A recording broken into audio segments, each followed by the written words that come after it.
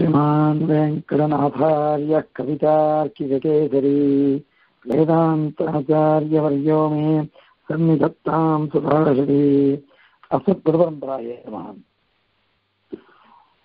ரெண்டாவது பாதம் ஆரம்பிக்கிறது உபயலிங்க பாதம் இதுக்கு பேரு ஏன்னா எம்பெருமானுடைய கல்யாண குணாகரத்துவம் ஹேய பிரச்சனைகத்துவம் ஹேய பிரச்சனைக்கு கல்யாண குணாகரத்துவம் ரெண்டு விசேஷம் சொல்லப்படுறது எம்பெருமான் தோஷங்கள் அற்றவன் அதற்கு அதற்கு எதிர்த்தட்டாக அனைத்து கல்யாண குணங்கள் திருக்கல்யாண குணங்கள் அனைத்தும் நிரம்பியவன் அப்படின்றது எட்டு அதிகரணங்களாக சொல்லப்படுது.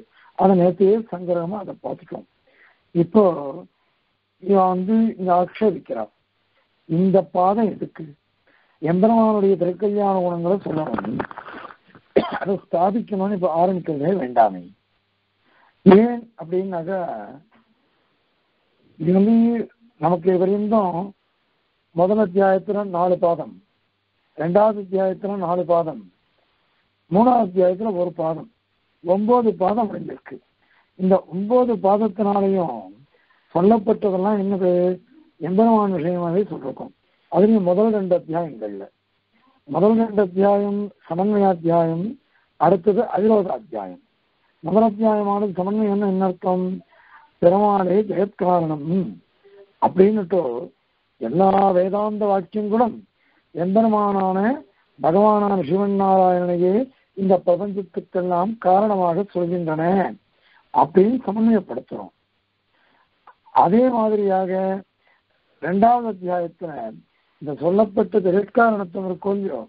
அதுல என்ன என்ன தோஷங்கள்லாம் நம்ம பேர்ல சொல்றாளோ அதே மாதிரி அவாமதங்கள்ல என்னென்ன தோஷம் இருக்கோ மாதிரி காரிய வர்க்கங்கள்ல எப்படி எப்படிலாம் தோஷங்களை ஆரோபிப்பாளோ விரோதம் இருக்குன்னு சொல்லுவாளோ அது அத்தனையும் கண்டனம் பண்றது அதனால விரோதமே இல்லைன்னு ஸ்தாபிக்கிறது. இப்படி சொன்னதுனால என்ன ஆகுதுன்னாக்கா அனைத்து விளையத்திலையும் எம்பெருமானே சொல்லப்பட்டவன் ஆகிறான் எம்பெருமானுடைய திருக்கல்யாண குணங்கள்லாம் அவனாயசனம் சொல்லி முடிச்சுட்டு ரெண்டு அத்தியாயத்துல. இப்போ இந்த மூணாவது அத்தியாயத்துல அதுவும் ரெண்டாவது பாதத்துல என்னத்துக்கு இதை சொல்லணும்? இது சொல்லவே வேண்டாமே. ஏன் அப்படின்னு ஏற்கனவே சொல்லியாச்சு. ரெண்டு அத்தியாயத்தில் சொல்லாத விஷயத்த இப்ப ஏதாவது சொல்லணும் சொல்ல போறேரா அது அதுலயே சித்திச்சுட்டே ஏன்னா முதலா அந்த முதல் அத்தியாயத்துல முதல் பாதத்துல ஆகாசாதிகாரம் அதுக்கு அவதாரிக்க போறதுக்கு சுவாமி என்ன சாதிக்கிற சாஸ்திரம் முதல் நாலு அத்தியா அதிகரணங்கள்னால முடிஞ்சிருச்சு. அஞ்சாவது அதிகரணம் ஆறாவது அதிகரணம் ஏழாவது அதிகரணம். அதனால கூட முடிஞ்சிருச்சுன்னு சொல்லிடலாம். அப்படியானாக்கா இந்த மாதிரி எதுக்கு இத்தனை அதிகரணங்கள்? ஏழு அதிகரணங்களாலே முடிஞ்சு போச்சே. மீதி நூத்தி நாற்பத்தி ஒன்பது அதிகரணங்களால என்னத்தை சொல்லணும்? எதுக்கு இதை சொல்லணும்? அப்படின்னாக்கா அதுக்கு வந்து சுவாமி அழகா சொன்னார். அந்த இந்த இதில். ஆகாசாரிகிரணத்துல அவதாரிகளை அவதாரிகளை சுவாமி சாக்கியத்தை என்ன சொல்லிச்சு அப்படின்னாக்கா தத்குணான் உத்ரணாதி ஒவ்வொரு அதிகரணங்கள்னாலையும் எம்பெருமானுடைய ஒவ்வொரு திருக்கல்யாண குணங்கள். திருக்கல்யாண குணத்தெல்லாம் ஏன் எடுத்து காமிக்கிறார்? அத்தியாயஸ்மின் நிருந்தன்னு. அதிகரண கணைகி தத்குணான் உத்கணாதி யார் யார் என்ன என்ன கேள்வி எல்லாம் அந்த கேள்விக்கெல்லாம் ஒவ்வொரு அதிகாரத்திலையும் பதில் சொல்லிட்டு எம்பெருமானுடைய திருக்கல்யாண குணங்களை வெளில கொண்டு வர வெளில கொண்டு வர அதாவது ஒரு அதிகரணத்தை ஒரு கல்யாண குணம் நினைக்க வேண்டாம். அதுக்கு ஒப்பிரிவுகள்லாம் எவ்வளவோ இருக்கு. அதனால அனைத்து திருக்கல்யாண குணங்களையும் எம்பெருமானுடைய திருக்கல்யாண அனைத்தையுமே இந்த அதிகாரங்கள்னால வெளில கொண்டு வர அப்படின்னு அங்க சொல்லிட்டார். ஆகாசாதிகரணத்துல அவதாரிகையிலேயே அதனால இப்ப இப்படி முதல் ரெண்டு அத்தியாயத்திலே சொல்லி ஆயிடுச்சு எத்தனை கல்யாண குணங்கள்? அதெல்லாம் சொல்லி ஆயிடுச்சு திரும்ப இங்க எதுக்கு சொல்லணும்? ஏன்னா பாருங்க ஈக்ஷணம் ஈக்ஷணாதி ஈக்ஷத்தரிகரணம்.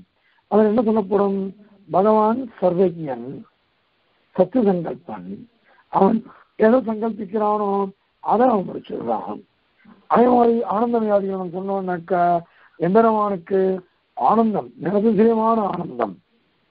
அந்த இதில் சொல்றது பாருங்க அது சேஷோ மனுஷகன் மசைகோ மானுஷ ஆனந்தா தேசுதம் மானுஷா ஆனந்தா அப்படின்னு ஆரம்பிச்சு மனுஷனுடைய ஆனந்தம் தே மனுஷ கந்தர்வாய் தேவகந்தர்வாய் அதே மாதிரியாக வரிசையா பித்திருக்கள் ஆஜானுஜா தேவதைகள் இப்படி வரிசையான தேவதைகள் எல்லாம். சதுர் சதுர்முக பிரம்மாவுக்கு அப்புறம் பரமாத்மா அவனுடைய ஆனந்த பரியம் இருக்கு. நூறு இன்று நூறு இன்று நூறு இன்று நூறு இன்று பிரிக்கின்றே போனோம். அப்படி பிரிக்கின்றே போனா எத்தனை கோடி வருமோ தெரியாது. அந்த மாதிரியாக எம்பெருமானுக்கு ஆனந்தம் இருக்கு. அம்ப எம்பெருமானுக்கு ஆனந்தம் அவனுக்கு இருக்கு. அப்படின்னுட்டு ஏன் அங்க சொன்னமே. அந்த மாதிரி இதுல அந்த விகிரணத்துல அப்ராகிருதமான திவ்யமங்கல விக்கிரகம் எம்பெருமானுக்கு இருக்கு ஜோதிட விகிரணத்தை பற்றியே சொன்னோம். இந்த மாதிரி ஒவ்வொரு விகிரணங்கள்லையும் ஒவ்வொரு திருக்கல்யாண குணங்கள் சொல்லப்பட்டது. உபகோசல வித்தியன்னு ஒரு வித்தியம் வந்தது. அந்த வித்தியை சொல்லும் பொழுது எம்பெருமான் வலது கண்ணலை இழந்து இருக்கானாம் ஆண்டவன் கேட்டார் எந்த கண்ணில் இருக்கான்? அப்படின்னு என்ன கேட்டார். அடியன் வந்து வலது கண்ணன் சொல்லணும்ட்டேன் அப்ப இடது கண்ணில் யார் இருக்கான்னு அடியனுக்கு தெரியல அது. உடனே நான் ஏதாவது சொல்லிடுவேன். சொல்லிட்டு கேட்டு மாட்டினோடனே என்ன பண்றது? அதனால எனக்கு தெரியலன்னு சொல்லிட்டேன். உடனே ஆண்டவர் என்ன பண்ணார்? சிவப்பிராசி எடுத்து காமிச்சார். பாரு பாருங்க கருணாராச்சார சுவாமிகிட்ட அதை காமிச்சு கருணாராச்சார சுவாமி வாசிச்சார். அதை பார்த்தாக்கா இடது கண்ணில் பிராட்டி இருக்கா?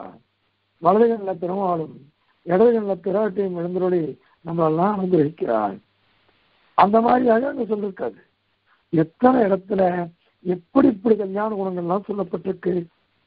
இதெல்லாம் சொல்லி அசாதாரணமான தர்மங்கள் குணங்கள் எம்பெருமானுக்கு இருக்குன்னு சொல்லியாச்சு.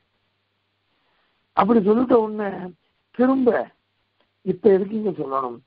அதுவே போதுமே அதை நினைச்சிருந்தாலே நமக்கு வந்து எது பிராப்தியம் எம்பெருமான்? எது பிராப்தியம் இல்லை இந்த சம்சாரம்? அதெல்லாம் அதனாலேயே தெரிஞ்சுக்கலாமே. இப்ப இங்க என்னத்துக்கு சொல்லணுங்க? இங்க ஏன்னா பரமாத்மனியோ ரக்தா விரக்தோ அபரமாத்மனி அப்படின்லாம் இருக்கு. இதனாலதான் முதல் பாதம் வைராக்கிய பாதம் சொன்னோம் அதுல அபரமாத்ம விஷயங்கள் பரமாத்ம விஷயங்கள் இல்லை. எம்பெருமான் விஷயமா அது இல்லவே இல்லை. அவைகள்லாம் சம்சார விஷயங்கள். சம்சார விஷயங்கள் நமக்கு தேவையே இல்லையே. அதனால அதுல வந்து விரக்தி வேணும். ஆனால் பெருமாள் இருக்கான் பாருங்க அவங்கிட்ட ராகம் வேணும் அனுராகம் எப்பொழுதுமே பெருமானுக்கு ஆசை இருக்கும் இதெல்லாம் முடிஞ்சுட்டு போதுமே. அப்படி இருக்கிற சமயத்துல இந்த ஒரு எட்டு அதிகரணங்கள் இதனால எதுக்கு சொல்லணும். அதனால புனருக்தி வந்துருச்சு. பௌனருத்தியம் தோஷமாகுது அது சொன்னதையே திருப்பி சொல்றது. முதல்ல ரெண்டு அத்தியாயத்தை என்னென்ன சாதிச்சாரோ அதையே இந்த மூணாவது அத்தியாயம் ரெண்டாவது பாதத்திலையும் எம்பெருமானுடைய திருக்கல்யாணம் சொல்றதுன்றதுனால திரும்ப திரும்ப சொல்றதுன்றது சாஸ்திரத்துல ஒரு தோஷம். அது தெரியவா எல்லாம் ஒத்துக்க மாட்டார் சாஸ்திரக்காரன் அது அதுக்கப்புறம் சங்கதி தொடர்பு வேணுமோ இல்லையோ எதை சொன்னாலும் ஒரு தொடர்பு இருக்கணும். ஒரு அதிகரணம் வந்துட்டோம்னாக்கா போன அதிகரணத்துக்கும் இந்த அதிகரணத்துக்கும் என்ன சம்பந்தம்? என்ன தொடர்பு என்ன சங்கதி? அப்படின்னு சொல்லணும். இப்ப இந்த சங்கதியே இல்லையே. ஏன்னா அது வந்து முதல் ரெண்டு அத்தியாயம் விஷயத்திகம் பிரம்மன் தான் விஷயம் இந்த சாஸ்திரத்துக்கு அது சொல்லிடுச்சு. ஆனால் இதுவோ சாதனாத்தியாயம். சாதனாத்தியாயத்துல என்ன சொல்லணும்? சாதனத்தை பத்தி சொல்லணும். சாதனம்னா என்னது? பக்தி. பக்தியை பத்தி சொல்லணும். பக்தியை பத்தி சொல்ல வேண்டிய இடத்துல போய் பெருமானுடைய கல்யாண குணங்களை சொல்றேன். பிரச்சனை கல்யாண விதானத்தை பத்தி சொல்றேன் அப்படின்னு சொன்னா சாதனாத்தியாயத்துல அந்த சங்கடம் இல்லாம போயிடும். ஏன்னா பக்தியை சொல்லு பக்தி யோகம் அஷ்டாந்த யோகத்தை சொல்லு அது ஒரு அங்கங்களை சொல்லலாம். அதை விட்டுட்டு இதெல்லாம் சொல்லலாமா? இதெல்லாம் சொல்ற சூத்திரக்காரர். அதனால சாதனாத்தியாயமே மிகவும் தவறானது. சாதனாத்தியாயம்ன்றது உபாயத்தை சொல்லுன்றது உபாயத்தை சொல்லச்ச அது சொல்லப்பட்ட. எந்திரமான் தான் உபாசியம் அது இருந்துட்டு போட்டோம். அவன் ஏற்கனவே ரெண்டு அத்தியாயத்தில் சொல்லட்டுமே? அதுவே போதுமே. நேர உபாயங்கள்.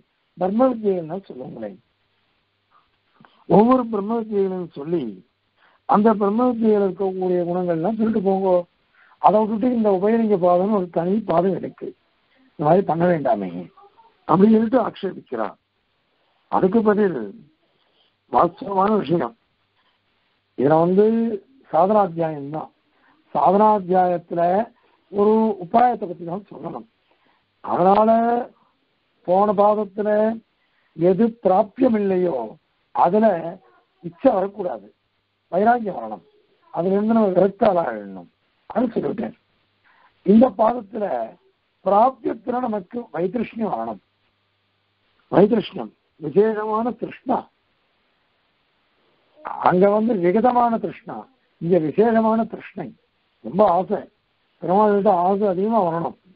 பெருமாள் பகவத்கீதையில் சொல்ற தன்னுடைய விபூதியை சொல்ல இது விஸ்வரூபத்தை சொல்லச்சே. நித்தியசூரிகள் ரிஷிகள் இவெல்லாம் இது எத்தனை வாட்டி என்னுடைய விஸ்வரூபத்தை பார்த்தாலும் அவன் சலிக்கவே மாட்டான் திகட்டவே திகட்டாது. நித்தியதான் நித்தியம் ஆகாட்சிகள் ஆசைப்படுறான் எம்பெருமாவுடைய கல்யாண குணத்தை பார்த்துட்டே இருக்கணும். எம்பெருமாவுடைய திஜமங்கல விக்கிரகத்தை பார்த்துட்டே இருக்கணும்.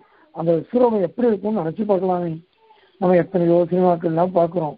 எம்பெருமான் கம்பீரமாக எழுந்துடுறதுன்னா அது நிஜமாவே நேரம் நமக்கு கிடைச்சதுன்னு என்ன ஆனந்தமா இருக்கும். எவ்வளோ சந்தோஷமா இருக்கும். அப்படிப்பட்ட பகவான் நமக்கு அடங்கி வரானே இறங்கி வரானே அப்படின்னுட்டு இது தெரியும் இல்லையா? அதனால எப்படி பிராப்தியே தரது எது பிராப்தியமோ அதை காட்டிலும் விளக்கம் எதிர்த்தமா இருக்கக்கூடிய சம்சாரத்துல இச்சை வேண்டாம். அதுல விரக்தி வரணும். அதே மாதிரியாக எது பிராப்தியமோ அதுல நமக்கு இச்சை வரும். வரணும். அந்த இச்சை வரணும்னு அது விஷயமான ஞானத்தை உற்பத்தி பண்ணணும். அதுக்கோசரம் இருக்கு. அதனால இங்க சொல்றேன் அப்படின்னா அது சரி. அதான் ரெண்டு அத்தியாயத்துல சொல்லியா எடுத்தேன் திருப்பி எதுக்கு இங்க சொல்லணும் அப்படின்னா வாஸ்தவம் தான் அதுக்கு உத்தம சுவாமி ரொம்ப அழகா சொல்றாரு. கீதையை வந்து அஞ்சாவது பத்தாவது அத்தியாயத்துல சொல்றேன் ஏழாவது அத்தியாயத்திலேருந்து எம்பிரமாவுடைய வைபவத்தையே சொல்லிட்டு போறார். ஏழாவது அத்தியாயம் எட்டாவது அத்தியாயம் ஒன்பதாம் அத்தியாயம் எல்லாமே எம்பெருமானுடைய திருக்கல்யாண குணங்கள் அது அது இது நிறைய சொல்லிட்டு போறார். இதெல்லாம் இந்த அத்தியாயங்களே சொல்லியா இருக்கு பத்தாவது அத்தியாயத்துல இதை எதுக்கு சொல்லணும்? பத்தாவது அத்தியாயத்துல பெருமானுடைய விபூதியை சொல்றார். அந்த விபூதியெல்லாம் சொல்லச்ச அற்புதமா வர்ணிக்கிறார் பெருமாள். தன்னைத்தானே வந்திருக்கிறார் தன்னைத்தானேன்னா என்ன அர்த்தம்? நான் சொல்லல ஸ்ருதிகள்லாம் சொல்றது. பிராமணிகாரான ரிஷிகள்லாம் சொல்றா அந்த மாதிரிதான். எந்திரவான் என்னைக்குமே தானே வய விட்டுற மாட்டான். பயம் பெருமாளுக்கும் பயமா. பிராமணிகமா தான் இருக்கணும். பிராமணிகமா தான் இருக்கணும் எந்திரமான அழகா பாஷ்யம் பண்றார். அதாவது அந்த மூணாவது அத்தியாயத்துல ஒரு சுவாமி வரும். எத்தியது ஆச்சாரத்தை சிரேஷ்டா தத்ததேதே தரோஜனா அப்படின்னு வரும். அதுக்கு பாஷ்யம் எடுத்து எம்பெருமானவர் சேர்க்கிற நான் யாரு தெரியுமா? பரம சிஷ்ட அக்ரேசரான வசுதேவருடைய புத்திர புத்திரனாச்சே. வசுதேவர் ரொம்ப தங்கமானவர். நல்ல சாத்விகர் அனுஷ்டாத்தான் அவர் என்ன சொல்றாரோ அது பிரமாணம் இல்லையா? அது பிரமாணம். அப்படி இருக்கச்ச அந்த வசிஷ்ட வசுதேவர் வச்சுன்னு தன்னை சொல்லிக்கிறார் பெருமாள். எம்பெருமான் இவன் வந்து எல்லா விதத்தினாலையும் சர்வ விலட்சணமானவன் ஆனால் அவனுக்கு வசுதேவர் தான் தன்னை சொல்லணுமா? வசுதேவருடைய பிள்ளை அப்படின்னு சொல்லி வசுதேவன். வசுதேவ சரமதி சமஹாத்மா சொல்லதா வசுதேவனே எனக்கு எல்லாம். அப்படின்னு இருக்கானே அப்படிங்கிறார். ஏன்னா வசுதேவருடைய புத்திரர்கள் அதனால விசேஷ ஆனந்தம் இருக்கு பெருமாளுக்கு தன்னை வந்து தாசர்தின்னு சொன்னாதான் புரியும்? பிடிக்குமா? ராமனுக்கு. தசரதனுடைய பிள்ளைன்னு சொன்னாதான் பிடிக்குமா காரணம் என்ன? தர்மிஷ்டனவன் ஒரு தர்மிஷ்டனா இருக்கிறதுனால அவன் வந்து அவனுடைய பிள்ளைன்னு தன்னை சொல்லிக்கிறதுல பெருமையாம் என்னவோ தர்மிஷ்டன் நிவர்த்தி லட்சணம் தர்மம் விஷய நாராயணம் தலி அப்படி நிவர்த்தி தர்மத்தெல்லாம் உபதேசிச்சு எம்பெருமான் அவனை வச்சு சொல்லியிருக்கிறார் ஏன் அப்படின்னா அப்படி சொன்னாதான் லோகம்லாம் நம்புமா? இவனே தன்னைத்தானே பெருமை சொல்லிக்கிறானே அப்படின்னு நினைச்சுக்க கூடாதான். அதனால பத்தாவது அத்தியாயத்துல தன்னுடைய விபூதி எல்லாம் சொல்றாரு? ஏன் அதை சொல்லணும் தெரியுமோ? அப்படின்னாக்கா உட்கடமான கிருஷ்ணம் உண்டாகணும் ஆசை. சாதாரணமா ஆசை உண்டாகிறது முதல் ரெண்டு அத்தியாயங்கள்னால. பாஷ இந்த இதுல சாதிக பாஷத்துல பிரம்மசூத்திரங்கள்ல ஆனால் இந்த மூணாவது அத்தியாயம் ரெண்டாம் பாதம் உபயலிங்க பாதம் இருக்கே இதனால என்ன வருதுன்னாக்கா உட்கட்டமான ஆசை- ஆசை. வெறி திரும்ப எப்போ எப்போ கதாகம் பகவந்தம் அப்படின்னுட்டு வைகுண்ட வித்தியத்தில் சொல்றாரு பாருங்க நான் எப்போ எங்க சாட்சாத்கரவாணி சக்ஷுஷா அப்படிங்கிறார். பரப பரபக்தி பரஜான பரமபக்தின்ற பாருங்க அந்த பரமபக்தி அவஸ்தா எப்போ எப்போன்னு வெறி பிடிச்சி அலையணுமா? அந்த மாதிரி இருக்கணும். அந்த மாதிரி ஒரு உற்சாகம் ஆ- ஆசை வரணும் நமக்கு. அதுக்கோசனம் பத்தாவது அத்தியாயத்துல எப்படி குண விபூதிகள்லாம் விஸ்தாரமான ஞானாதீனமா இருக்கணும். சாமான்யமா தெரிஞ்சிருந்தா கூட விசேஷ ரூபேன தெரிஞ்சுக்கணும். அது ஏன் தெரிஞ்சுக்கணும் அப்படின்னா இதுக்கு பேர் ஸ்தூண நிகரண பேர். பேரு பொதுவா நம்ம ஏற்கனவே அதை பார்த்துருக்கோம். ரெண்டாம் அத்தியாயம் முதல் ஸ்லோகத்திலேயே சொல்லிருக்கோம். அது எப்படின்னாக்கா ஒருத்தன் வந்து பந்தக்கால் நடுறான். அல்லது ஒரு கொம்பை நடுறான். நடைச்ச ஒரு பள்ளம் தோன்றான். அதில் ஒரு கொம்பை நட்டுட்டு மண்ணெல்லாம் போட்டு அடைச்சிடுவான் திருப்பி கொஞ்சம் ஆடி பார்ப்பான்.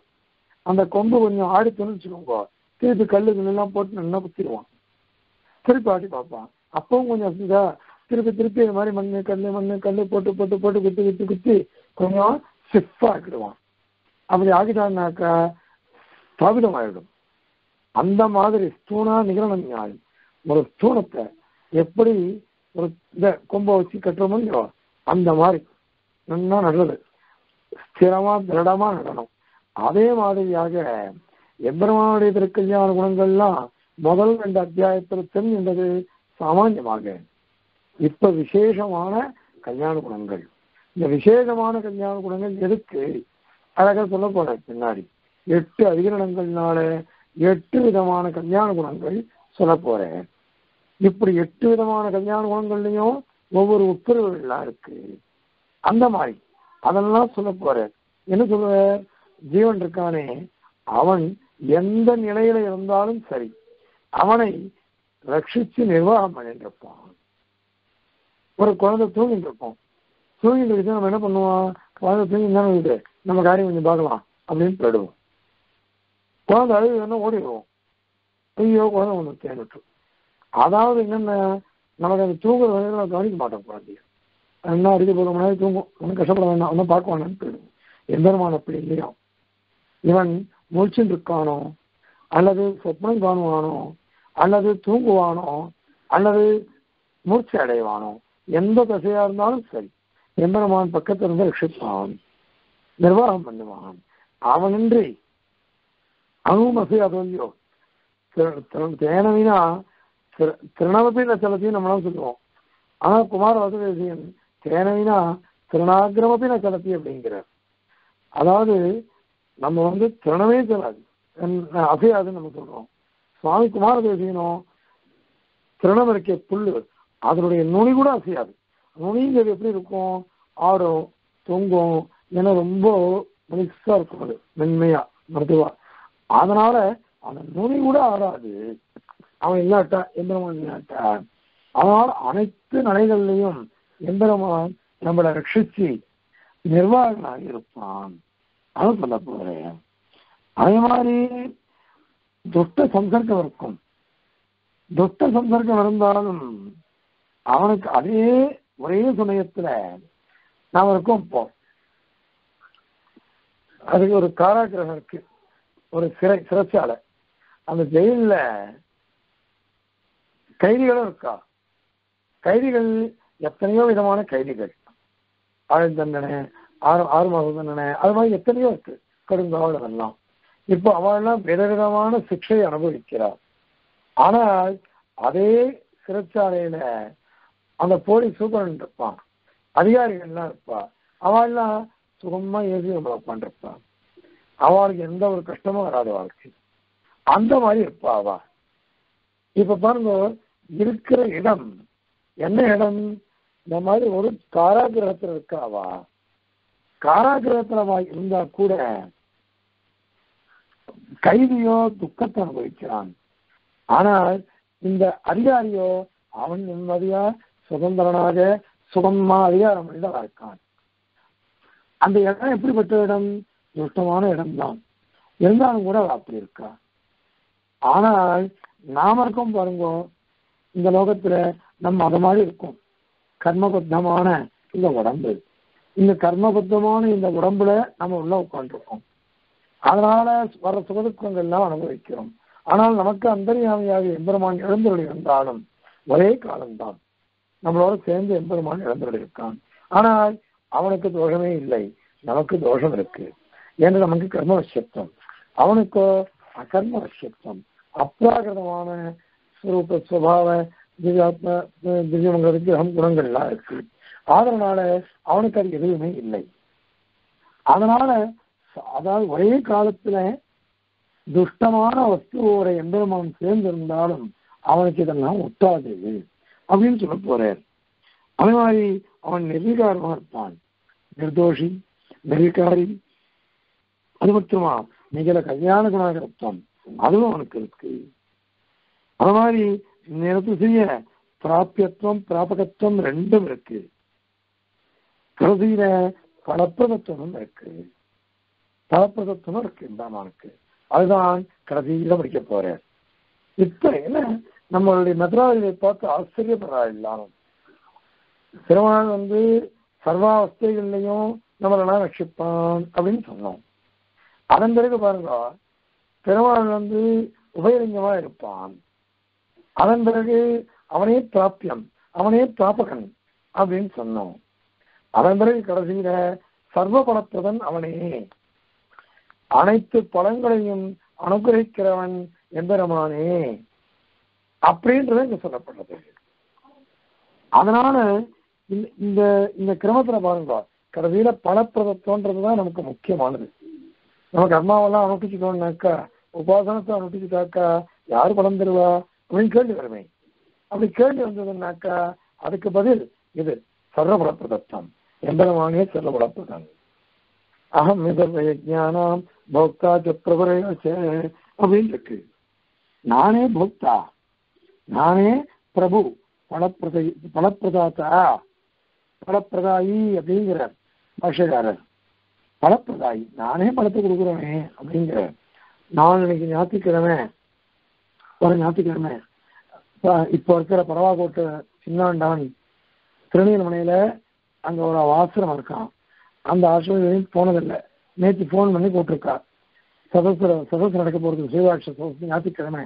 ஒன்பதுலேருந்து பன்னெண்டு ஒரு வேலை அதுக்கு அவசியம் வரணும் அப்படின்னு அது என்ன நினைச்சிருக்கா? அதுக்கோசரம் போக போறேன். அதுல சொல்ல போறது இந்த பாதத்துல கடைசி அதிகம் பலாதிகரணம் அதனால விஷயம் விஞ்ஞாபிக்க போறேன் ஏன்னா இந்த மாதிரி கல்யாண குணங்களை வரிசையா சொல்லிட்டு வந்து பலப்பிரதத்துவத்தை வந்து முடிக்கிறார். அந்த பலப்பிரதத்துவம் எப்படி அப்படின்னாக்கா அனைத்து விஷயங்களும் நமக்கு வருது. சாதாரண லௌகிக பதத்திலேருந்து ஆரம்பிச்சு பரம புருஷார்த்தமான மோட்ச பரியந்தம் கொடுக்கிறவன் எந்திரவான் அப்படின்னு சாதிக்க போறேன் அந்த மாதிரி எத்தனை கல்யாண குணங்கள்? இந்த கல்யாண குணங்கள் எல்லாம் இதெல்லாம் ரெண்டு அத்தியாயத்துல அங்கங்க சூசி சூசித்தார் சுட்டிக்காட்டிருப்பார். ஸ்பஷ்டமாக அதுல பிரத்யட்சமா கண்டோர் தீர்த்தாரு ஆனால் இங்கேயோ அப்படி இல்லை. ஸ்பஷ்டமா சொல்ல போறேன். அதனால இந்த மாதிரி கல்யாண குணங்கள்லாம் சொன்னாக்கா அப்பதான் நமக்கு மனசுல சிந்தனை வரும். எந்திரமானே என்று சொல்லப்படுகிறான். எந்திரமான் அவன் அப்படிப்பட்ட கல்யாண குணங்களோடு உடைய உடையவன். நமக்கு அவனே பிராப்பியம்.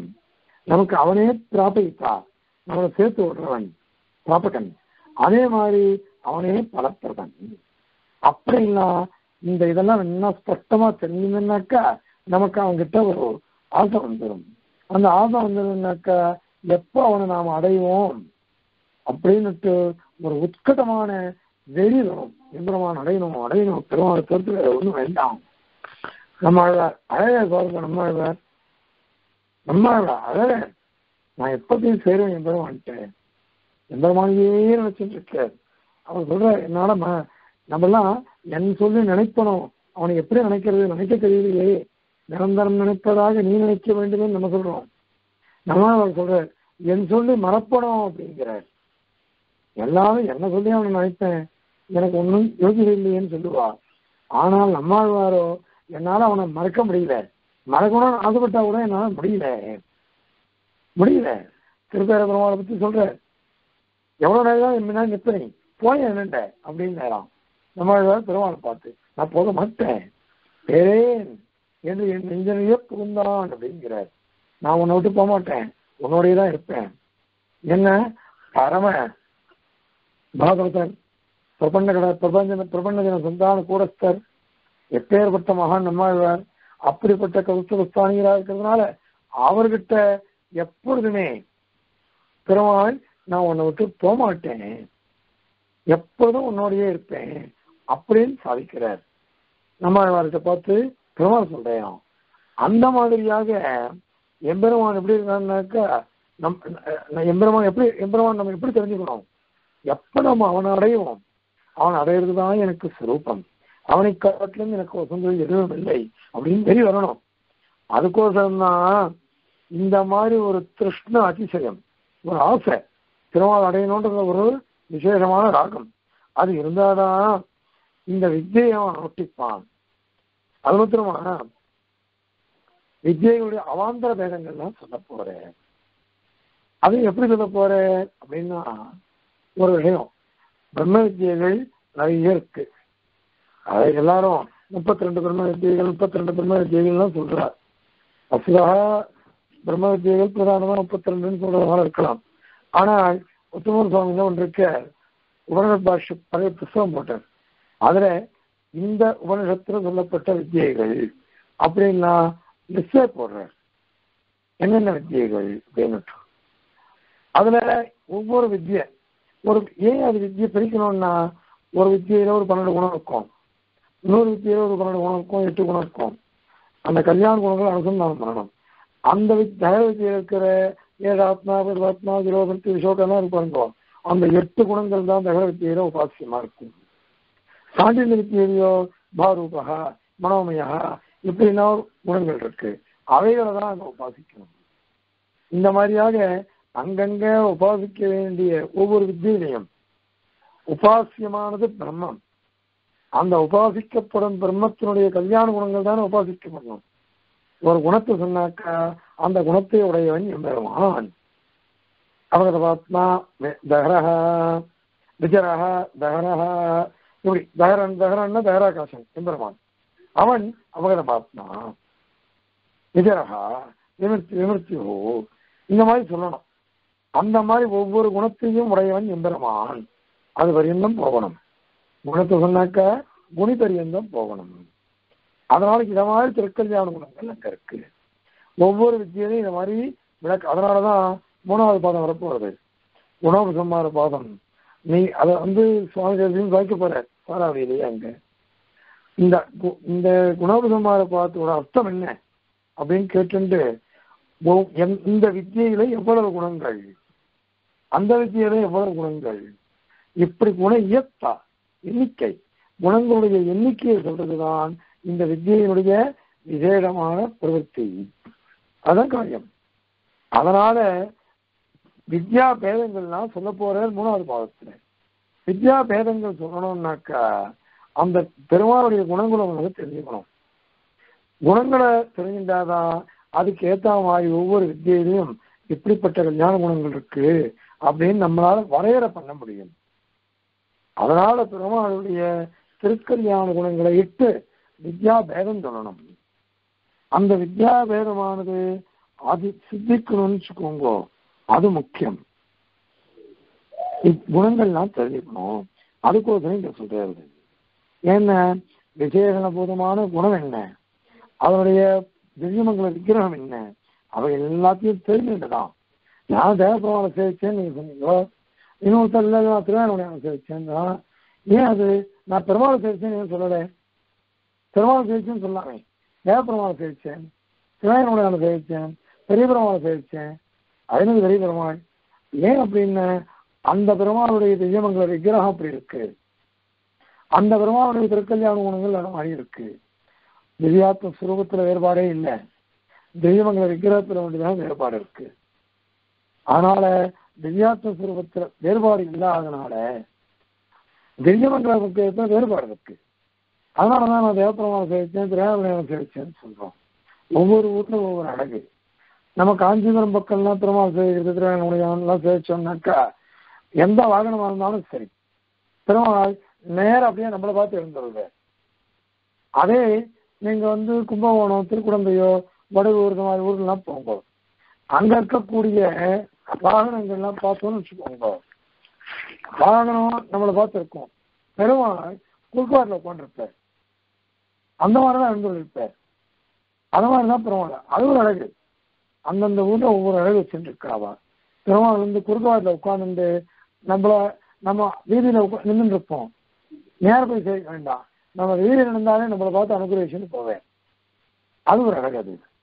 அதனால இந்த கிரமம் காஞ்சிபுரத்தில் தப்பம் செலுத்துவாளுக்கும் ஸ்ரீரங்கத்தில் தப்பம் செலுத்துவாளுக்கும் வித்தியாசம் தெரியும். காஞ்சிபுரத்தில் தப்பம் செலுத்தோம்னு வச்சுக்கோங்க. இப்போ இந்த எந்த கரையில ஜெகதாவில் இருந்து எழுந்து விடுவார் அங்கதான் எதிர்தான் பெருமாள் தெப்பம் இருக்கும்.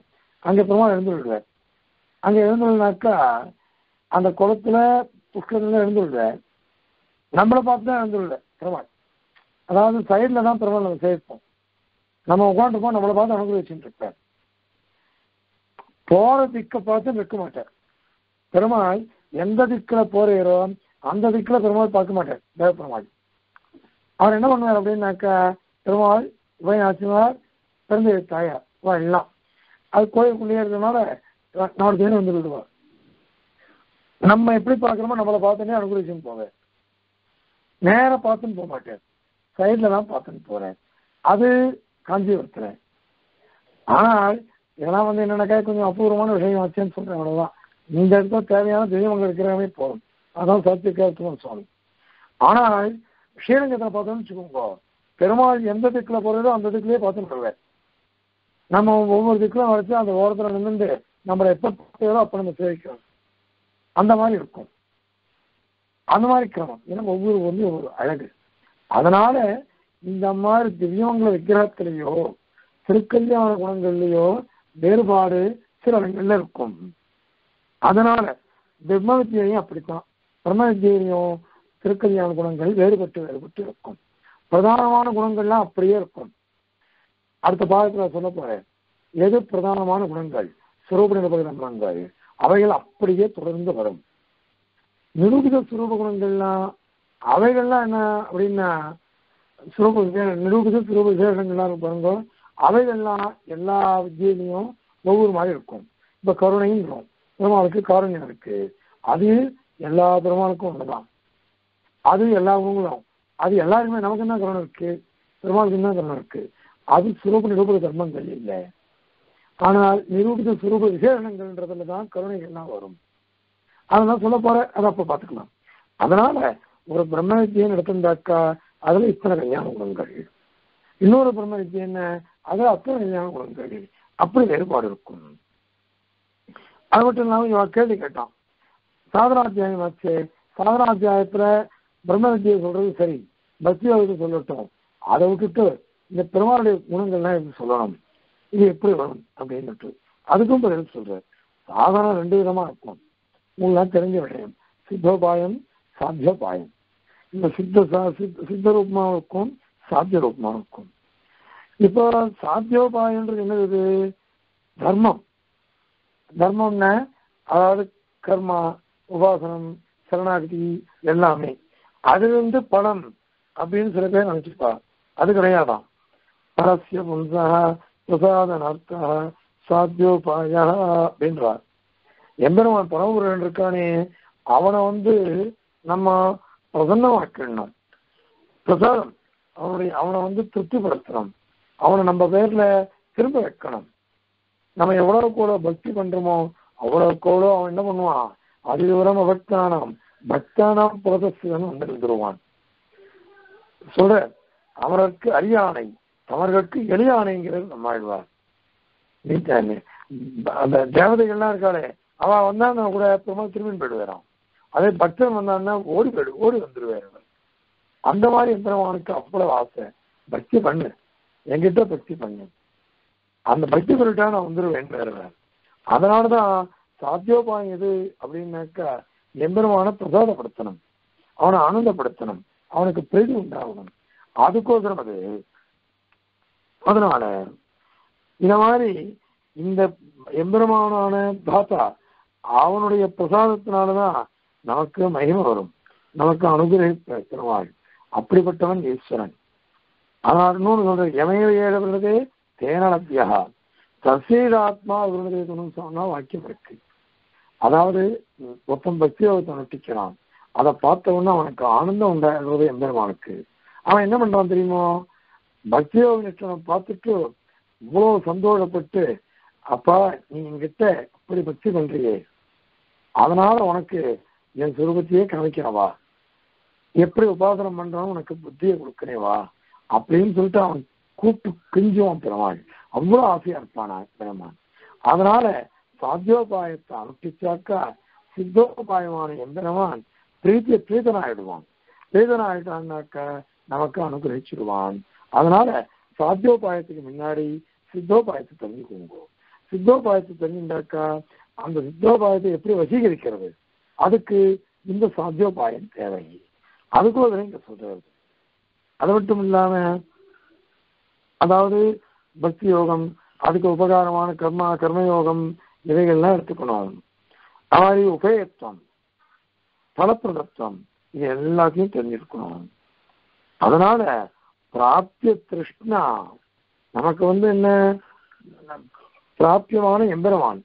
அந்த எம்பெருமான் கிட்ட ஆசை உண்டாகணும். அது ரொம்ப அதை வந்து அபிவிருத்தி பண்ணணுமா? ஏற்கனவே நமக்கு எல்லாருக்கும் பக்தி இருக்கு. கோயிலை பார்த்தோம்னு வச்சுக்கோங்க. உள்ள போகாட்டா கூட ஒரு கையா ஒரு கும்பிட போட்டு போயிடுவோம் அந்த மாதிரிதான் நம்ம இருக்கோம். ஆனாலும் கூட இந்த பிராப்திய திருஷ்ணா அதிகமா அதிகமா வளரணும். ரொம்ப அதிகமா வளர்ந்து நாம எம்பெருமான அடையணும். அதுக்கோசம் அதுக்கோசம் இது வேணும். அந்த மாதிரி ஏன்னா அவன் பலப்பிரதம் இருக்கான் பாருங்கோ. அவன் எப்படி இருந்தாலும் ஒரு பலப்பிரதம் இருப்பான்னு சொல்ல போறாரு பின்னாடி. அந்த மாதிரி கிரமங்கள்லாம் தெரிஞ்சுக்கணும். அப்படி தெரிஞ்சிருந்தாதான் நமக்கு இந்திரமான் கிட்ட ஒரு உத்கட்டமான ராகம் உண்டாகும் ராகம். அந்த ராகத்தை வச்சுட்டு தான் எம்பெருமான நாம உபாசிப்போம். அதுபோலவே இது சொல்லப்பட்டது.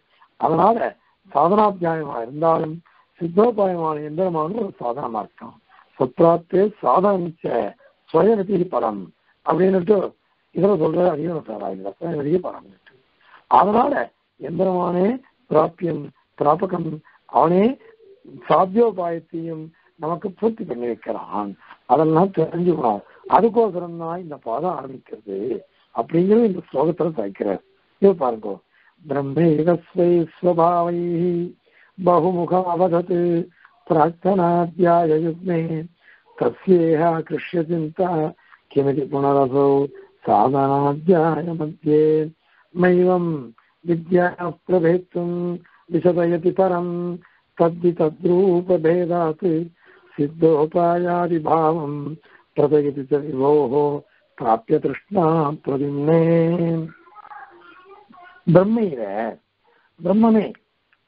பிராப்பிய ஸ்வயி சுபாவை அவனுடைய திருக்கல்யாண குணங்கள் இருக்கு பாருங்கோ. அவைகளோட குணங்களாக பிரார்த்தன அத்தியாயமே. முன்னாடி போன ரெண்டு அத்தியாயங்கள். சமன்வய அத்தியாயம் அவிரோத்தியா அவிரோத அத்தியாயம் இந்த ரெண்டு அத்தியாயங்கள்லயும் பகுமுகம் அவதத்து. பலவாறாக பலவாறாக சொன்னேன் பலவிதமான கல்யாண குணங்கள் எல்லாம் வச்சு எப்படி எல்லாம் தவிக்க முடியுமோ அதெல்லாம் சொல்லி முடிச்சுட்டேன் முதலத்தியாயத்தில் கடைசி சூத்திரம் ஏதேன சர்வே வியாக்கியாத்தா வியாக்கியாத்தாக அப்படின்னு ஏத்தேன இந்த முப்பத்தி அஞ்சு அதிகரணங்கள் அந்த முதல் அத்தியாயத்துல முப்பத்தி நாலு அதிகரணங்கள் என்னென்ன சொன்னமோ அதை வச்சு பார்த்தீங்கன்னாக்கா எது எதுக்கு உரையிடணுமோ என்னென்ன உரண பாகத்துக்கு சொல்லணுமோ அது அத்தனையும் இங்க சொல்லப்பட்டதா இருக்கு அப்படின்னு அங்க இருக்கு. அதனால எல்லாமே அந்த சொல்லி ஆயிடுச்சு அதுவே போதுமே. அல்லது ரெண்டாவது அத்தியாயத்தினால விரோதமே இல்லைன்னு கூட சொல்லட்டுமே. அதுவே போருமே அப்படி இருக்கச்ச தஸ்ய அந்த சொல்லப்பட்ட விஷயம் இருக்கு பாருங்க. அதை இக இந்த மூணாவது அத்தியாயமான சாதனாத்தியாயத்து நடுவுல ஆகிருஷ்ய சிந்தா ஆகர்ஷ சிந்தா ஆகர்ஷிச்சு முன்னாடி சொன்னதையே திருப்பி கு- பிரம்மத்தை பத்தியே சொல்றேன்றீங்களே. ஆகர்ஷ சிந்தா கிமிதி. எதுக்கோசரம் புனக அசௌ. இதை எதுக்கு இது திருப்பி சொல்றீங்க இந்த இந்த விஷயத்தை? இது சொல்ல வேண்டாமே அப்ப பௌனமிச்சு தானே. புனமிச்சு தோஷமாச்சு. சொன்னதையே திருப்பி சொல்லக்கூடாதாச்சு. சொன்னதையே திருப்பி சொன்னாக்கா அழைச்ச மாற அழைக்கிறான் சர்வித சொல்வனம் பிருஷ்ட பேஷணம் ஏற்கனவே மாவு பசங்க அது திரும்பி பேசினா என்ன பிரயோஜனம்? அதனால தேவையில்லையே. அதனால முன்னாடியே அழுத்து முன்னாடியே அழுத்து இங்கே எடுத்து சொல்லணும்? அப்படின்னு ஆக்ஷேபிக்கிறான் பூர்வபக்ஷி. அதுக்கு பதில் திருமால் வந்து சகிக்கிற மைவம் அது தவறு. நீ சொல்றது இவ்வாறு கேள்வியை கேட்கக்கூடாது. ஏன் அப்படி தெரியுமோ இல்லையோ வித்யா பிரபேத்தும் விசதயதி பரம். அதாவது வித்யா பிரபேத்தம் அடுத்த பாதத்தில் குணோபசன்மார பாதம் மூணாம் அத்தியாயம் மூணாம் பாதம். அதுல வித்தியை எல்லாம் பிரிக்க போறேன். நகர வித்தியை என்ன எது? வைஸ்வான என்ன எது? சாண்டில்ய என்ன எது? புருஷ என்ன எது? இப்படி பல வித்தியெல்லாம் பிரிச்சு அதுக்கெல்லாம் குணங்களெல்லாம் பிரித்து சொல்ல போறார். அதெல்லாம் பேதங்கள் அந்த பேதத்தெல்லாம் சொல்லி பரம் விசதகதி அந்த எம்பெருமான விசதமா சொல்ல போற அதான் பிரம்ம உபாசியமான எம்பெருமான் இப்படி இருப்பான். அப்படின்லாம் சொல்ல போற சொல்ல போறதுனால அதுக்கோசரம் தான் இந்த மூணாவது அத்தியாயம் ரெண்டாவது பாதத்துல எம்பெருமானுடைய விஷயங்களும் சொல்றது. சொல்லிட்டு போட்டோம். அதான் ஏற்கனவே சொல்லியாச்சே. அதே பொறுமைன்னாக்கா தவறு. தப்பி தத் ரூபபேதா அது கூட எப்படி? பிரமாண பிரிச்சு காமிக்கணும். ஒவ்வொரு வித்தியையும். அது எப்படின்னு ரூபபேதா. அந்த பிரம்ம வித்தியைகளுடைய ரூபங்கள். எத்தனையோ ரூபங்கள் இருக்கு. எத்தனையோ ரூபங்கள். ஒவ்வொரு வித்தியிலையும் ஒவ்வொரு ரூபம். உபாசிய ஆக்காரம் அதாவது பரமாத்மா உபாசியம் அது உண்மை. ஆனால் அந்த வித்தியில சொல்ல வேண்டிய கல்யாண குணங்கள் எது அப்படின்றது அந்த ரூப பேதம் இருக்கே. அந்த ரூப பேதத்தை வச்சுனாலும் தெரிஞ்சுக்க முடியும். அதுக்கோசரம் தான் இங்க சொன்னேன். சரி அது கூட முதல் ரெண்டு அத்தியாயமே பூர்மை அப்படின்னு கேட்டா சித்தோபாயாதி பாவம். சித்தோபாயம். சாத்தியோபாயமாகவும் சித்தோபாயமாகவும் ரெண்டு இருக்குது. சாத்தியமாகவும் சித்தமாகவும் ரெண்டு இருக்கு. சித்தோபாயன்றது எம்பெருமான் தான். சாத்தியோபாயம் என்ன? சத் வித்யா தகர வித்யா இந்த மாதிரி வித்தியை எல்லாம் இருக்கு அது அது. அது பக்தி தான். பக்தி யோகம் தான். அந்த வித்யாபேதம் எப்படி இருக்கும்? ரூபபேதத்தினால வரும். ரூபம் எப்படி? ரூபம் தான் வித்தியைக்கு பிராதானியம். அந்த அந்த ரூபத்தை வச்சுட்டு தான் வித்தியினுடைய பிரிவுகள்லாம் சொல்ல முடியும். இந்த வித்யா அந்த வித்யாலாம் சொல்ல முடியும். அது கூட அதனுடைய குணபேதத்தினாலதான். கல்யாண குணங்களுடைய பேதம் அது. அதனால சாதனாத்தியாயத்துல சொல்லப்பட வேண்டியது சாதன ரூபமையான பக்தி. அந்த பக்தி யோகம் எப்படி இருக்கும்? அப்படின்னாக்கா எந்திரவாணி சித்தோபாயமா இருக்கிறதுனால சாதனாத்தியாயத்துல பிரம்ம சிந்தை விசேஷமான சிந்தை அது. அது விசேஷமா சங்கடமாயிடும் தொடர்புடையது. அதுல ஒரு தோஷமும் கிடையவே கிடையாது. அதனால அது அவசியம் தேவையானது. அது வேண்டாம்னு சொல்லவே கூடாது. வேண்டாம்னு சொல்லக்கூடாது. அதனாலதான் சொன்ன சித்தோபாயாதி பாவம். ஆதிசத்தினால இங்க வந்து அதாவது பக்தி யோகம் அது மாதிரி உபேயம் எம்பெருமானே பிராப்தியம் அப்படின்லாம் தெரிஞ்சுக்கணும். அதெல்லாம் நமக்கு தெரிஞ்சுக்கணும்னு இதான் முக்கியம். அது பிரம்மம் என்ன? பிரம்மத்தினுடைய கல்யாண குணங்கள் என்ன? அதுதான் பிராப்தியம் தெரிஞ்சுன்னா பிராப்தியத்துவம் இருக்கு. பிராபகத்துவம் இருக்கு. பலப்பிரதத்துவம் இருக்கு. அந்த பலப்பிரதத்துவம் எப்படி இருக்கும்லாம் கூட சொல்றது அதனால இது விசேஷமா தெரிஞ்சுக்கணும் அது அதனாலதான் இங்க வந்து அவ்வளவு தூரம் பிரம்ம விசதீகரணம். பிரம்மத்தை விசதீகரணம் பண்ணணும். ஸ்பஷ்டமா தெரியணும் அதனாலதான் உபயலிங்கத்துவம் சொல்றது. ஹயப்பிரத்தனையே கல்யாணிக தானத்துவம் அப்படின்றது. அதனால விசேஷமா என்னென்ன சொல்லப்படுறது சித்தோபாயம் சித்த பிராப்தியம் இந்த ரெண்டும் சொல்றது இந்த பிராப்தியமான பிரம்மத்துல நமக்கு ஆசை அதிகரிக்கும். அதிகரிக்கும். அந்த திருஷ்ணா விசேஷம் இல்லைன்னு வச்சுக்கோங்களேன். அப்ப உபாய அதிகாரமே உனக்கு வராது. எத்தனையோ பேர் வேதாந்தத்தை பத்தி கேட்கிறா வேதாந்தம் எவ்வளவோ நம்ம வாசிக்கிறோம். எத்தனையோ கிரந்தங்கள். ஆனால் இந்த கிரந்தங்கள் எவ்வளவோ இருந்தாலும் சரி. ஒருத்தன் உபன்யாசம் பண்ணான்னு கேட்டு இருக்கா உலகம் நம்ம பெரியவாள்லாம் கஷ்டப்பட்டு இருக்கா பாக்கியம் நமக்கு. அவளுக்கு சேவை கை கொடுக்க போயிடுறா ஆனால் அதை படிக்கணும்னுட்டு அவளுக்கு விசேஷமான ஆசை வரல. அது என்ன பண்ணணும்? அந்த கிரந்தங்கள்லாம் இருக்கக்கூடிய விசேஷமான அம்சங்கள் எல்லாம் சொல்லி சொல்லி புரிய வச்சோம்னாக்கா நிச்சயம் அவள் ஈடுபடுவாள் அப்போ அந்த அந்த விஷயங்களை தெரிஞ்சிருந்தாதான் நமக்கு இச்சை வரும். அதனால அதை தெரிஞ்சுக்கணும். அந்த விஷயங்களை என்ன நம்ம தெரிஞ்சுக்கணும். தெரிஞ்சுக்க என்ன? நமக்கு ஆசை வராது அந்த கிரந்தத்துல. அந்த மாதிரிதான் பிரம்ம விஷயம். பிரம்மத்தை தெரிஞ்சுக்கணும்னாக்கா அதை சர்வாத்தனா ஒட்டுமொத்தமா தெரிஞ்சுக்கணும். எவ்வளவு கோலம் முடியுமோ அவ்வளவு கோலவும் நம்ம தெரிஞ்சிருந்தாதான் அப்போ விசேஷமான ஆசை உண்டாகும். இல்லா போனா ஆசை வராது. அதனால உபாசனை பண்ண மாட்டான். அதுக்கு அழகான உதாரணம் சொல்றார். குமார வரதேசிக்கன் ஒருத்தன் வந்து சொர்க்கம் வேணும்னு ஆசைப்படுறான். அப்போ யாகாதிகள்லாம் அவன் அனுஷ்டிக்கிறான் ஏன்? சொர்க்கத்தை பத்தி நல்லா தெரிஞ்சிருந்தான். தெரிஞ்சினவொன்னு சொர்க்கத்தில் ஆசை வந்தது. ஆசை வந்தது அதுக்கு சாதனத்தை தெரிஞ்சுக்கிறான் அந்த சாதனத்துல ஆசை வந்தது. அதன் பிறகு இதை கஷ்டப்பட்டு பண்ணிவிடுறான் பண்ணிட்டான்னாக்கா அழகா சொர்க்கத்தை அடைஞ்சு அனுபவிக்கிறான். அந்த சின்ன சின்ன சுகம் அது.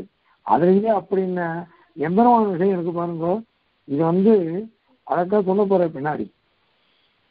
பிரம்ம வித்தியையும் ஆனந்தமா இருக்கும் பெருமாளை தான் நினைக்கிறோம். அதனால அதுவும் ஆனந்தத்தை கொடுக்கும். ஒரு சின்ன கிட்டத்தட்ட அரை மணி நேரத்துக்கு மேலே ஆயிருக்கும் இப்போ நம்ம ஆரம்பிச்சு இந்த அரை மணி நேரமா கேட்டுட்டு இருக்கோம். எனக்கு குளூர்ல போயிட்டு வந்துட்டேன் பனி. பனியில போயிட்டு வந்துடவே ரொம்ப படுத்துறது உடம்ப. ஆனால் எனக்கு வந்து இப்ப சொல்லிட்டு இருக்கும் பாருங்க அந்த பனி சிந்தனையே இல்லை. காரணம் என்ன? ஒரு வேதாந்தத்தை பத்தி நம்ம பேசிட்டு இருக்கோம். அதை பத்தி தான் நம்ம விசாரம் பண்ணிட்டு இருக்கோம் அது சொல்லச்சே ஆனந்தமா இருக்கே. அந்த வேதாந்த வேதியான எம்பெருமான் நம்ம உபாசிச்சு அனுப்பிச்சுக்கணும் இந்திரியங்கள் எல்லாம் அடக்கி பெருமாளையே தியானம் பண்ணிட்டு அவனுடைய கல்யாண குணங்களையே சொல்லிட்டு தியானம் பண்ணா எவ்வளவு நல்லா இருக்கும். அதுவும் சுகம். அதான் அங்க போய் அனுபவிக்க போறோம் பெருமாளுடைய தினங்கள் இருக்கிறத பார்த்துட்டு அப்படியே அங்க அனுபவிப்போம். இப்ப இங்கேயோ கல்யாண குணங்களை மனசுல தியானம் பண்ணி அனுபவிக்கணும். அங்க போனா நேரக்கு நேர்காவே அனுபவிப்போம் நேரா அனுபவிப்போம் அதனால ரெண்டும் கிட்டத்தட்ட சமானமான ஆக்காரம். அதனால ஒரு உற்சாகம் வரும். சொர்க்ககாமனா யாருக்கு இருக்கோ அவன் யாகத்தை பண்றான்? அந்த மாதிரி பிரம்ம பிராப்தி வேணும்னு எவன் ஆசைப்படுறானோ அவன் பிரம்ம உபாசனத்தை அனுஷ்டிப்பான். அப்ப அதை அனுஷ்டிக்கணும்னு அந்த பிரம்மத்துல ஆசை உண்டாகும் அவருடைய கல்யாணம் தெரிஞ்சுக்கணும். அதுக்கோசரம் சொல்றது அதனாலதான் அர பிரம்ம பிராப்தி நாமோகி பிரம்ம உபாசனேஷ அதிகரியா அப்படிங்கிறத குமார அவர்கள் பேசுகிறேன் பிரம்மத்தை அடையணும் அப்படின்னு யாருக்கு ஆசை இருக்குதோ அவன் பிரம்ம உபாசனத்துல அவன் வந்து இது பண்ண பிரவர்த்திச்சுடுவான் அதனாலதான் உபயலிங்க வாதம் சொல்றது. உபாதன அனுஷ்டானத்துக்கு இந்த பாதமானது ரொம்ப உபகாரகமா இருக்கு. விவேகமா உபகாரம். அதனாலதான் இந்த இந்த அதிகாரம் இதை வந்து சுவாமி ஒரு போர்டு போட்டு குமார வரதேசிகன் சாரீரக சாஸ்திர சாரமிதா அப்படிங்கிறார் சாரீரக சாஸ்திரத்துக்கு இந்த வேதாந்தனுக்கு நாலு அத்தியாயங்கள் அதுல மூணாவது அத்தியாயத்துல ரெண்டாவது பாதம் இருக்கு பாருங்க இதுதான் சாஸ்திரத்தினுடைய சாரமே. எம்பெருமானே அனைத்து விதத்தினாலையும் சொல்லப்படக்கூடிய கல்யாண குணங்கள் தான் உடையவன். அப்படின்னு சொல்லி அவனே பிராப்பியம் அவனே பிராபகம் அவனே சித்தோபாயன் அவனே பலப்பதன் அப்படின்லாம் சொல்றாங்க இங்க. அதுவும் பலப்பதன் என்ன தெரியுமா? அப்படின்னாக்கா தன்னை கொடுக்குற அளவுக்கு பலப்பதனா இருக்கான் நான்?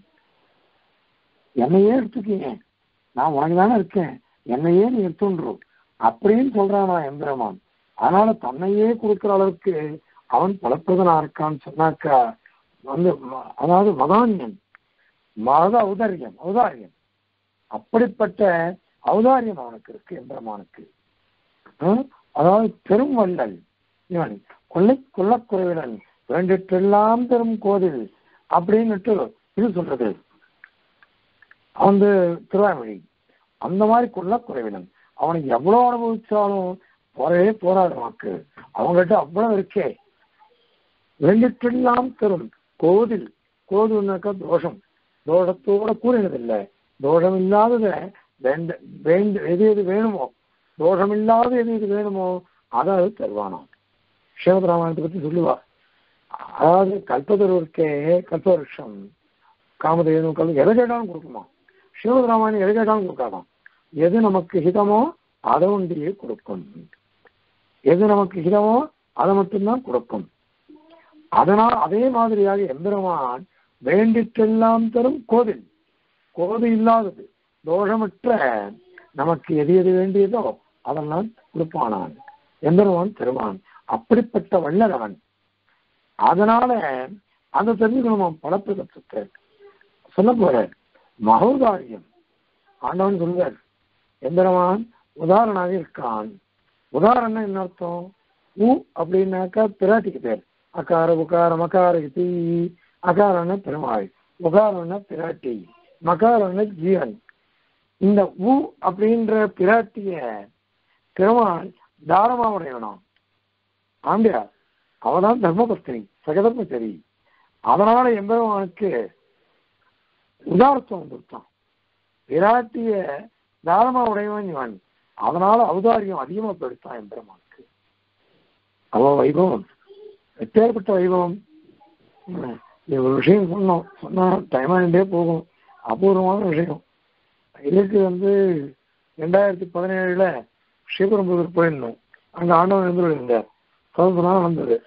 நிச்சயப்படி மங்கள சதந்தி எழுந்துள்ள ஸ்ரீபெரும்புதூர் பாஷகார சங்கரிக்கு அதுக்கு நாங்கள்லாம் போவோம். அப்போ அந்த ரெண்டாயிரத்தி பதினேழு தான் எம்பெருமானாவுடைய ஆயிரம் ஆண்டு வருஷம். அதுக்கோசரம் சம்பரோஷணம் பண்ணாவா? அதுக்கோசரம் பெருமாள் தாயார்னா கண்ணாடி அறை பண்ணிட்டா. சொல்ற போனோம் இன்னும் அது சின்ன கண்ணாடி அறை. அதுல சின்ன சின்ன உண்டு. நீ ஒன்று கொடுத்த சின்ன ரூம் இருக்கும். அந்த ரூம்ல கண்ணாடி அறை. அதுல ஆதிகேசர் பெருமாள் உபயநாச்சிமார் ஆண்டாள் சக்கரத்தாழ்வார் அங்க சொல்ல பிள்ளை இருந்துல இருக்கார். அவா மூணு பேர். எல்லாரும் ஒன்னா சேர்ந்து இத்தினோண்டு ரூம் சின்ன கண்ணாடி அறை. அதுல இவன் அத்தனை பேரும் ஒன்று கொடுத்து பண்ணிட்டு இருக்கா அங்க மங்களாசாசனம் எடுத்து அதுக்கப்புறம் கொஞ்சம் பிரதட்சணமா வரைச்ச பெரிய கண்ணாடி அறை. அதுல எதிர்நாச்சியார். பிராட்டியார். பிராட்டியாங்கிற வந்து வந்து இருக்கா? சின்ன திருமணி. அழகான அழகு. பெரிய கண்ணாடியரை அது பிரம்மோத்சவத்துல பெருமாள் இடம் அது.